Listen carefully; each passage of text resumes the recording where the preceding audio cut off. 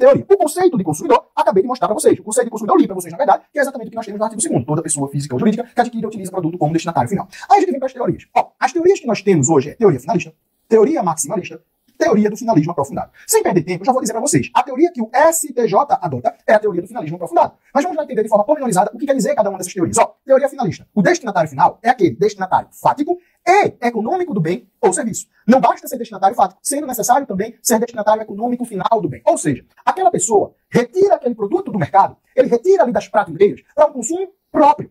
Consumo próprio, domiciliar, ou como é que a maioria da doutrina chama? Consumo próprio ou familiar. Se você for fazer uma interpretação literal, a partir do momento que nós falamos, ó, eu só posso considerar consumidor, a partir da teoria finalista, aquele consumidor, pessoa física, que adquire um produto, que retira um produto do mercado, e ele ou a sua unidade familiar irão consumi-lo. Se não for assim, não dá para considerar aquela pessoa como consumidora.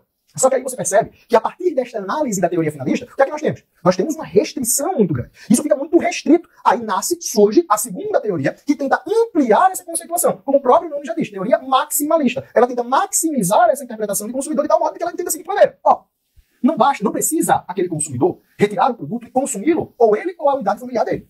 Desde que ele retire do mercado, não importa a destinação. Ó, não importa a destinação. Tanto é que ele pode retirar o produto do mercado e dar uma destinação econômica diversa. Exemplo, imagine que eu tenho uma fábrica de calças jeans, de produtos de vestimentas jeans, casaco jeans, calça jeans, tudo jeans, tá? Só que aí, veja, eu vendo calças jeans na minha fábrica de todas as cores. Vermelho, azul, verde, rosa, roxo, preto, branco, enfim.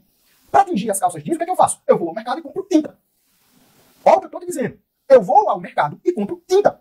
Qual é a diferença? Se eu fosse analisar a partir da teoria finalista, eu não poderia ser considerado consumidor, uma vez que as tintas que eu estou adquirindo, elas estão sendo destinadas a atingir as calças jeans que serão colocadas à venda posteriormente. Então eu estou dando o quê? Eu estou dando uma destinação econômica, mas não fática. Entenderam a, a, a, questão? Na teoria maximalista, eu dou uma destinação econômica, mas não fática. Na teoria finalista, esqueça. Destinação, e aqui, pessoal, prestem atenção. Destinação, a acepção dessa palavra destinação quer dizer finalização. É o encerramento da cadeia consumerista. Quando eu falo lá na teoria finalista, ó, destinação fática e econômica, ó, tá, dando, tá, dando uma finalização. Encerra por ali. Encerra por ali. Aqui, na teoria maximalista, não encerra por ali. Tinta, nesse exemplo que eu dei, vai servir para atingir as calças jeans. Ela vai ser utilizada como fomento ao produto que eu comercializo, para agregar valor ao produto que eu comercializo, para depois vender aquele produto que são as calças jeans no valor X. Quer outro exemplo? Um exemplo agora que eu posso dar até como pessoa física? Advogado. Advogado que compra um computador para fins profissionais, ele vai colocar aquele computador em seu escritório. Ah, professor, ele retirou do mercado, certo? Ele está servindo como um bem utilizável em um serviço que ele vai prestar. Se eu fosse analisar a parte da teoria finalista, eu não considerava esse advogado como consumidor. Eu considero ele consumidor a partir da acepção da concepção da teoria maximalista, que maximiza, que maximiza, como o próprio nome já disse. Só que aí veio o STJ e diz o seguinte, ó, nenhum, nem outro, nem oito, nem oitenta. Eu não posso ser restrito demais, eu não posso ampliar demais. E a análise que vocês estão fazendo para tentar entender, interpretar a concepção do termo destinatário final está equivocada. A análise não parte dessa premissa.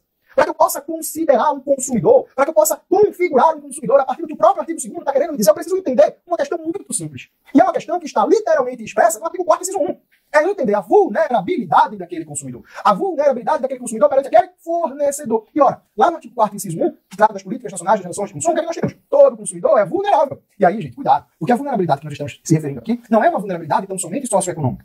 Lá no Código Processo Civil, quando a gente estuda o processo civil, para entender um pouco, por exemplo, sobre a, a possibilidade do benefício da justiça gratuita, nós entendemos, nós falamos sobre a questão da vulnerabilidade socioeconômica. Aqui, não estou apenas tratando de vulnerabilidade socioeconômica. Aqui eu posso ter vulnerabilidade técnica, vulnerabilidade científica, vulnerabilidade jurídica, vulnerabilidade fática. Exemplo. Vou seguir esse exemplo aqui da, calça, da, da empresa de calças jeans e da empresa de tintas. Olha, eu sou um expert na fabricação de calças jeans. Se você me perguntar como é a produção, fabricação das calças jeans, como é a composição do tecido, eu vou saber dizer. Mas eu vou saber explicar com a expertise composição da tinta? Não. Claro que não. Óbvio. Então eu tenho uma vulnerabilidade técnica. Eu tenho uma vulnerabilidade técnica em é, comparação com aquela empresa que fabrica as tintas. Eu sou um advogado. Se você perguntar sobre o meu nicho de mercado, que eu atuo, direito consumidor, direito civil, eu vou saber responder alguma coisa. Eu tenho expertise nessa área. Mas sobre o computador, eu não tenho. Eu vou ter a mesma capacidade do que o comerciante, do próprio fabricante que, que fabrica o computador? Claro que não. Então a análise a ser feita é a partir da existência de um elemento-chave, vulnerabilidade, que é exatamente o que o STJ buscou através da teoria do finalismo aprofundado. Tem como premissa a análise da vulnerabilidade sobre os seguintes aspectos: técnica, científica, jurídica e hipossuficiência econômica. É adotada pelo STJ. Beleza?